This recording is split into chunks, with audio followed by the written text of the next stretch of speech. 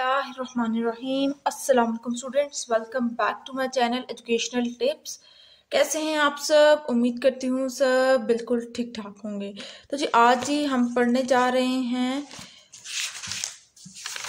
Page number 124 और 125 और ये है जी यूनिट नंबर 13 इन्वायरमेंटल पोल्यूशन का। लास्ट टाइम हमने ये दोनों पेजेस पढ़ लिए थे तो आज जी हम लोग नेक्स्ट पेज पढ़ेंगे। और सबसे पहले जो इस पेज के ऊपर आप लोग खोल लीजिए और शुरू करते हैं रीडिंग और साथ साथ मैं आप लोगों को ट्रांसलेट करके समझाती भी जाऊँगी। सबसे पहला जो हमारे पास पैराग्राफ में जो सबसे पहला जो बात बताई हुई है, वो कुछ नॉन बायोडिग्रेबल वेस्ट के बारे में बात बताई गई है। तो नॉन बायोडिग्रेबल वेस्ट क्या होते हैं, देखते हैं। Not all waste product are biodegradable यानी कि हर लास्ट में हमने पढ़ा था ना बायोडिग्रेबल प्रोडक्ट्स के बारे में। बायोडिग्रेबल क्या थे जो कि डिकम्पोज हो सकते थे? ठीक है तो इस अब, अब यहाँ पे नॉन बायोडिग्रेबल है वेस्ट है। तो देखते हैं not all waste products are biodegradable यानी कि वो कह रहे हैं हर वेस्ट प्रोडक्ट जो है हमारे पास हर यूज्ड प्रोडक्ट हमारे पास बायोडिग्रेबल यानी कि डिकम्पोज नहीं हो सकता। When something can not decompose और डिके जब कोई चीज़ डिकम्पोज नहीं हो सकती फॉर मैनी ईयर्स काफ़ी सालों तक वो डिकम्पोज नहीं हो रही। वो ख़त्म ख़राब, बिल्कुल प्योर जैसे फॉर्म जिस फॉर्म में थी, उस फॉर्म में वापस कन्वर्ट काफ़ी सालों तक ना आए। ठीक है we call it non biodegradable अब उस उस स्पेसिफिक वेस्ट प्रोडक्ट को हम क्या कहते हैं, उसको हम नॉन बायोडिग्रेबल प्रोडक्ट कह देते हैं नॉन बायोडिग्रेबल वेस्ट कह देते हैं। यानी कि एक ऐसा वेस्ट एक ऐसा गंदा गंदा मटेरियल जो कि हम दोबारा यूज़ नहीं कर सकते, ना वो दोबारा डिकम्पोज हो सकता है, ना वो दोबारा रिसाइकल हो सकता है। Things made of metals ceramic forms and glass जो चीज़ें मेटल से बनी हुई होती हैं सर्मिक सर्मिक से बन रही होती हैं, या फिर फॉर्म्स जो होते हैं हमारे, ठीक है, जो बेड्स के अंदर भी होते हैं और सोफाज के अंदर भी होते हैं, ठीक है, ये हमारी जो ग्लासेस होती हैं इतनी सारी चीज़ों, ये सारे क्या हैं नॉन बायोडिग्रेबल मटेरियल्स हैं। उसके बाद आ जाते हैं रिसाइकल वेस्ट यानी कि चीज़ों को रिसाइकलिंग का प्रोसेस आपने अक्सर देखा होगा ना, हम लोगों के यहाँ जो पेप्सी की बोटल्स होती हैं, उसके ऊपर एक, ये चेन टाइप से बनी हुई होती है, यू एरोज से ना। ठीक है, अब वो जो चेन टाइप होती है, ये हमें क्या शो करती है कि ये things are recycle these things are recycle put them in dustbins आप इनको डस्टबिन में फेंके और हम लोग इनको रिसाइकल करेंगे। प्लास्टिक के चीज़ों पर अक्सर उमूमन तौर पर लिखा हुआ होता है।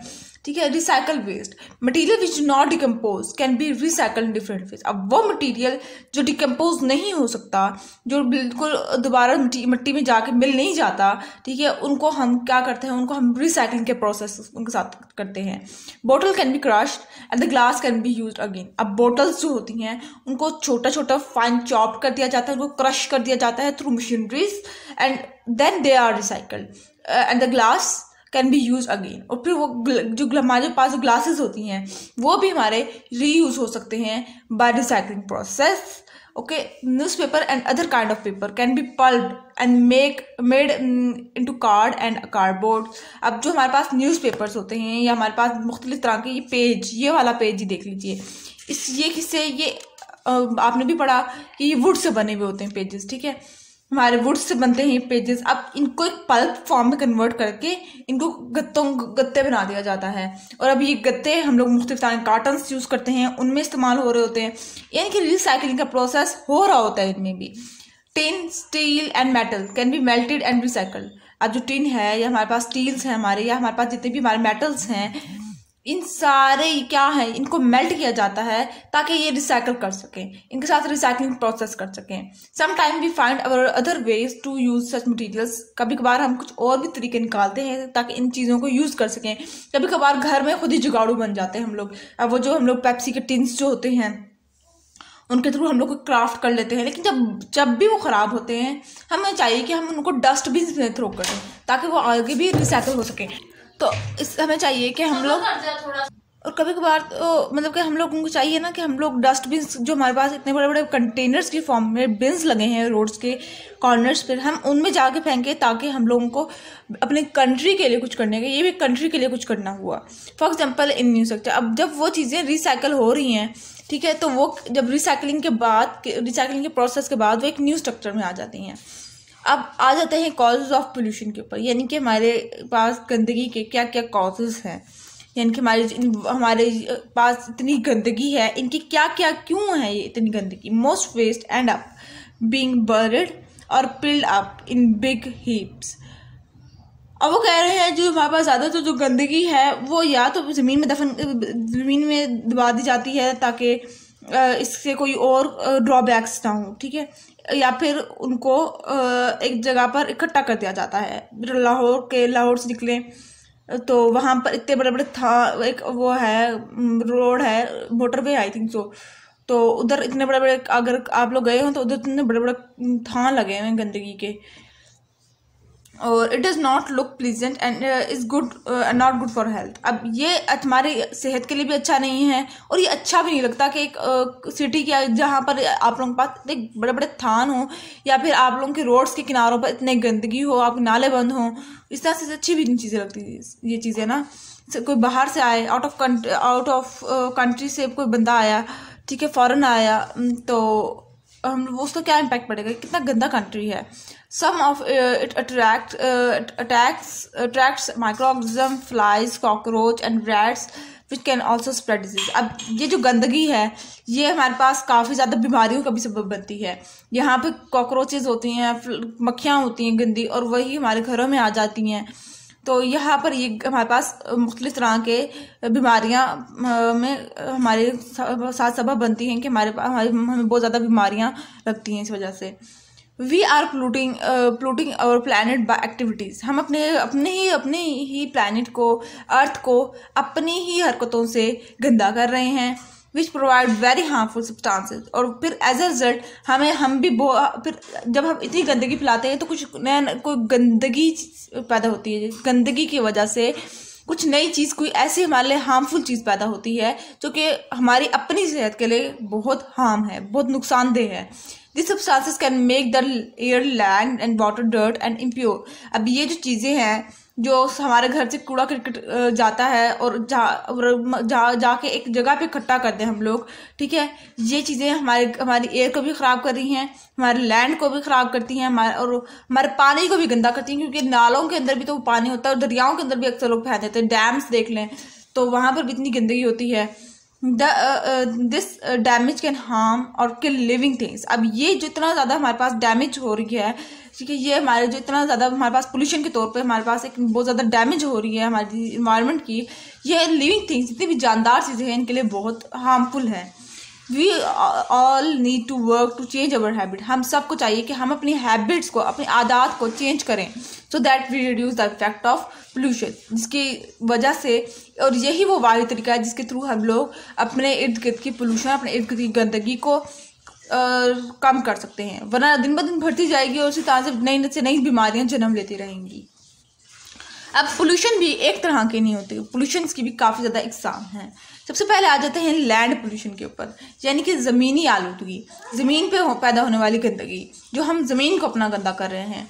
When waste is not decompose of properly जब जो हमारा गंदा मटीरियल है जो गंदगी है उसको सही तरह से हम लोग डिकम्पोज नहीं कर रहे उसको हम लोग सही तरह से ख़त्म नहीं कर रहे ठीक है? तो इसका रिज़ल्ट क्या होगा कि वो हमारे पास लैंड पोल्यूशन होकर आएगी land pollution is the pollution of the earth by solid and liquid waste अब लैंड पोल्यूशन एक अर्थ की वो पोल्यूशन है, ये वो आलूदगी है, जो कि सॉलिड फॉर्म में भी हमारे पास मौजूद है, हमारे पास लिक्विड फॉर्म में भी वेस्ट मौजूद है which is produce as a result of human activities अब ये जो सॉलिड और लिक्विड वेस्ट है, और ये जो ये जो लैंड पोल्यूशन है, ये किसके रिज़ल्ट में है? ये हमारी अपनी कारनामों की वजह से है। हम लोगों ने खुद इस तरह की लैंड जो लैंड पोल्यूशन लाए हैं। वरना आज से कुछ काफ़ी पुरानी बात सौ साल पुरानी देख लो। इतनी गंदगी नहीं थी जितनी अब हम लोगों ने गंदगी कर दी है, जितनी अब हमने अपना इन्वायरमेंट गंदा किया है। अब आ जाते हैं फिर cause of causes of land pollution chemical waste produce by factories अब जो वो जो केम अभी वजह, वजूहत क्या हैं कि हमारे पास लैंड पोल्यूशन क्यों आ रही है? ठीक है, अब जो केमिकल वेस्ट है, यानी कि जो फैक्ट्रीज में काम होता है, उसका रिज़ल्ट में जो हमारे पास केमिकल एक्स्ट्रा तौर पे निकलते हैं अब वो human sewage dumping of litter of the dumping of the litter of the on the ground overuse of pesticides and herbicide and construction debris are all some of the causes of land pollution वो कह रहे हैं कि एक तो जो chemical waste है, जो केमिकल्स जो हमारे हमारे गंदे केमिकल्स हैं, जो हमें फैक्ट्रीज से हासिल हो रहे हैं, क्योंकि पाकिस्तान में काफ़ी ज़्यादा फैक्ट्रीज हैं, ठीक है? और वहाँ से जो केमिकल वेस्ट है, या फिर जो जो हम लोग जो इतने बड़े बड़े गड्ढे खोद देते हैं, ठीक है? और इतने नीचे डेप्थ में होते हैं वो, या हम लोग जो पेस्टिसाइड्स और हार्बिसाइड्स यूज़ कर रहे हैं, या फिर हम लोग ने जो हमारे जो कंस्ट्रक्शन एरियाज़ हैं, ये सब उधर भी गंदगी इतनी होती है ये सब किया, किसकी, ये सारी वो वजूहत हैं जिसकी वजह से हम लोग लैंड पोल्यूशन का सामना करते हैं।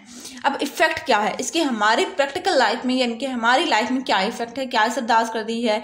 Land pollution not only damages the soil land pollution है जो ज़मीनी आलूदगी है, ये ना सिर्फ़ हमारी सॉइल को, यानी कि हमारी ज़मीन को गंदा कर रही है, ख़राब कर रही है it also it also has very harmful effect on the entire eco बल्कि इसका हमारे इको पर भी असर बहुत ज़्यादा है। बहुत हार्मफुल इफ़ेक्ट है इसका। When toxic chemicals are dumped on the ground जब आप, आपके पास जो टॉक्सिक केमिकल्स हैं, जो हमारे पास खतरनाक जो केमिकल्स हैं, वो आप ग्राउंड पे, ज़मीन पे छोड़ोगे ऐसे ही they get absorb in the soil जब आप उनको, उन केमिकल्स का, वो लोग क्या करते हैं फैक्ट्रीज वाले के, उन जो हमारे, उनके पास जो हार्मफुल केमिकल्स निकलते हैं चीज़ों से, वो जाके कहीं पे ज़मीन पे जाके फेंक देते हैं। अब वो हार्मफुल केमिकल्स जब वो मट्टी के, उस मट्टी के अंदर अब्जॉर्ब होते हैं from their roots of the plants absorb this poisonous chemical अब प्लांट्स ने तो उसको अब्जॉर्ब करना है। प्लांट्स को तो नहीं पता कि हमारे लिए सही है क्या गलत है। उनके पास तो जो चीज़ आई उन्हें तो उसको, उसके रूट्स ने तो वो चीज़ अब्जॉर्ब कर देनी है। This plants are then eaten by herbivores अब ये ही प्लांट जो हैं, ये फिर हार्बीवोर्स यानी कि वो एनिमल्स जो कि वो चीज़ें, वो जानदार चीज़ें जो कि प्लांट्स खा रही हैं, जो कि प्लांट्स को खाते हैं, उनकी खुराक ही प्लांट है, अब वो खाते हैं herbivores in turn are eaten by carnivores and human beings अब वो हार्बीवोर्स फिर एज ए रिज़ल्ट इंसान खाते हैं, यानी कि अब हमारे पास गोट है, ठीक है, अब उसने तो वो प्लांट्स खाना है ना, अब वो उसको अगर वो प्लांट खा ले तो उसका तो जिसमें वो केमिकल प्रोड्यूस हो गया in this way this toxic chemicals are transfer from one living things to another इस तरह से ये टॉक्सिक केमिकल्स एक जानदार चीज़ से दूसरी जानदार चीज़ में कन्वर्ट हो जाती है। उसके बाद अब आ जाते हैं एयर पोल्यूशन पर, यानी कि हमारी फिजाई आलूदगी हवा की आलूदगी you have learn that air is a mixture of gases अब हमने पढ़ा था कि एयर जो है उसके अंदर मुख्तलि तरह की गैसेज मौजूद हैं। Any human be human activity that cause disturbance in this this composition of gases can create air pollution अब कोई भी ऐसी इंसानी काम जो कि इस जिसको डिस्टर्ब करे, इस गैसेस की कंपोजिशन को डिस्टर्ब करे, उसको हम एयर पोल्यूशन का नाम दे देते हैं। Air pollution is the contamination of air by toxic substances certain gases called greenhouse gases absorb heat energy अब वो कह रहे हैं कि हमारे पास जो ग्रीन हाउस गैसेस जितनी भी हैं हमारी, या ये जो हमारे पास जो ग्रीन हाउस गैसेस हैं, ये क्या करती हैं? इनका काम क्या होता है? ये हीट ऑब्जॉर्ब करती हैं। Without this gases the earth would be cooler अगर हमारे पास ये गैसेज ना हो, ठीक है तो ये क्या हो? हमारी अर्थ बहुत ठंडी हो। How too much of this gases in the atmosphere led to global warming लेकिन अगर हमारे पास ग्लोबल हमारे पास जो ग्रीन हाउस गैसेज हैं, ये कुछ ज़्यादा मकदार में होंगी तो इसका रिज़ल्ट क्या होगा? हमारे पास हमें हमें ग्लोबल वार्मिंग का सामना करना पड़ेगा।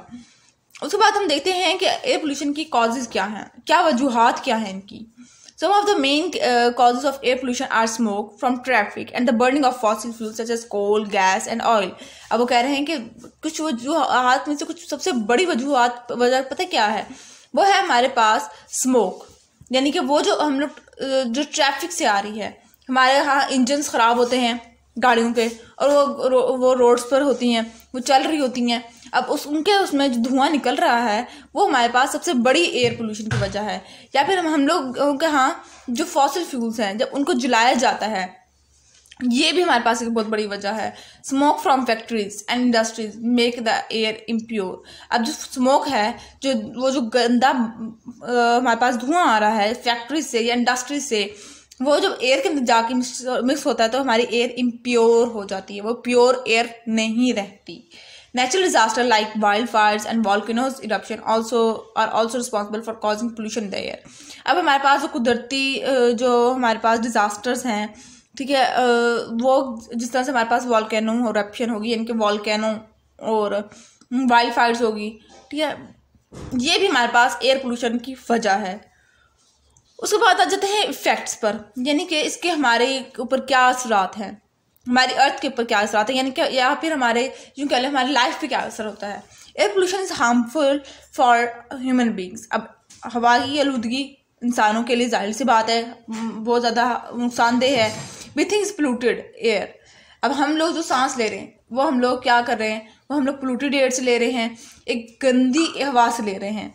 Can cause many breathing disorders अब उसके रिज़ल्ट में हमें काफ़ी ज़्यादा सांस लेने की प्रॉब्लम्स को फेस करना पड़ता है such as asthma and bronchitis अब ये अस्थमा जिसके अंदर सांस की प्रॉब्लम होती है, बहुत ज़्यादा, और bronchitis you know that there there is a protective layer in the our atmosphere आपको पता है कि हमारे एटमॉस्फेयर के ऊपर एक प्रोटेक्टिव लेयर है नॉन एज ओजोन लेयर जिसको हम ओजोन लेयर कहते हैं.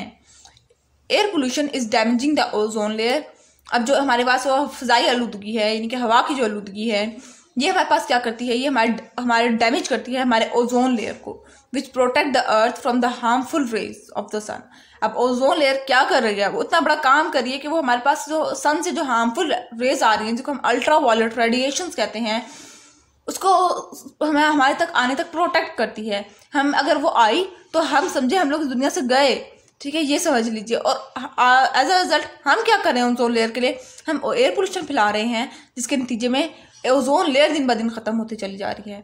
Global warming is causing the ice caps और टू मेल्ट अब जो ग्लोबल वार्मिंग है, फिर वो हमारे पास आइस को मेल्ट करती है a key part of the climate change जो एक बहुत बड़ा ज़रिया है हमारे पास वेदर और क्लाइमेट चेंज होने का। Climate change effect all living things on earth. अब जो क्लाइमेट के जो मौसम की तब्दीली है, ये हर तरह के लिविंग थिंग पर जानदार चीज़ पर असरअंदाज करती है। Flood flooding erosion and rising water level are some of the effect of climate change हमारे पास सैलाब आना, हमारे पास पानी की मकदार में बहुत ज़्यादा इजाफा हो जाना ये सारे क्या हैं? ये इफ़ेक्ट हैं, ये वो असरात हैं जो कि मौसम की तब्दीली के हैं। This disturb and damage ecosystem और अब इस तरह से करके फिर ये डिस्टर्ब करते हैं और डैमेज करते हैं हमारे इकोसिस्टम को। तो ये था आज का लेक्चर आई होप सो आपको समझ आ गया होगा। अगर आज का लेक्चर आप लोगों को समझ आ गया है तो मेरे चैनल को मत सब्सक्राइब कर दीजिएगा वीडियोस को लाइक कर दीजिएगा और साथ साथ बेल आइकन को प्रेस करना मत भूलिएगा। इससे जी मेरी आने वाली हर लेटेस्ट अपडेट सबसे पहले आप तक पहुंचेगी। मिलती हूँ किसी और वीडियो में। दुआ में याद रखिएगा। अल्लाह हाफिज़।